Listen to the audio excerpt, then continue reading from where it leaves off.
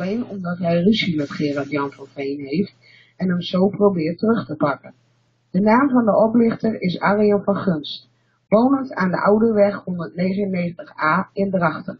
Hij woont daar bij zijn ouders, maar hij doodt ook wel eens onder in Ureterp bij de Tuinstritten. Dit moet ophouden mensen.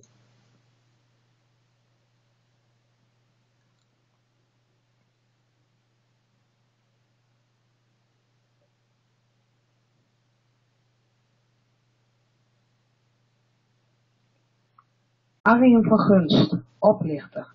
Er staan filmpjes op YouTube dat Gerard Jan van Veen een oplichter is. Dit klopt niet. De naam van de oplichter is Arjen van Gunst. Woon... Arjen van Gunst. Duidelijk een oplichter. Als ik het goed heb, is hij 22 jaar. Hij woont in Drachten, nog bij zijn ouders, op de Oude Weg 199a. Hij is ook al vernomen in Ureterp op de Toenstreek. Deze jonge man heeft al tientallen mensen opgelicht met een schatting van 40.000 euro.